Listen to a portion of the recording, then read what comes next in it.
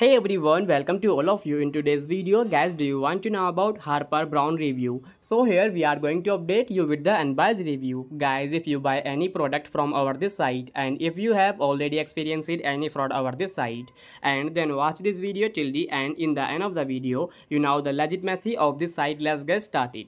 Today's we provide complete detail about this site so stay tuned with us, don't miss the any points. This is an online site which offers multiple types of different different clothes. As you can see here men's and women's. And but before going further do like share and subscribe my youtube channel.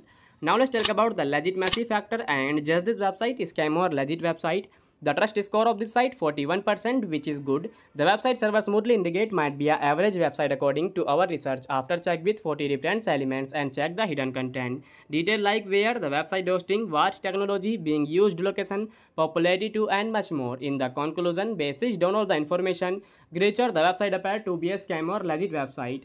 But we also recommend make a right conclusion on the basis of manual research. If this review is helpful for you, then to comment your thought about this video.